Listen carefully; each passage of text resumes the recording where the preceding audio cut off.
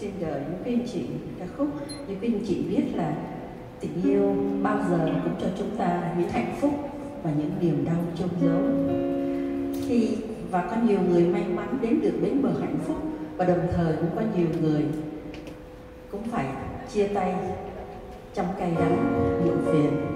Và cho dù như thế nào thì sau khi cuộc tình tan thì chúng ta cũng trở thành người cũ của nhau. Và dù thế nào cũng coi đó là một kỷ niệm đẹp vâng ca khúc được mang tên mình gọi nhau người cũ nhạc của Đức Phương được phổ từ thơ Vũ Thị Hương, xin à, quý anh chị rộng lượng đón hết Trở.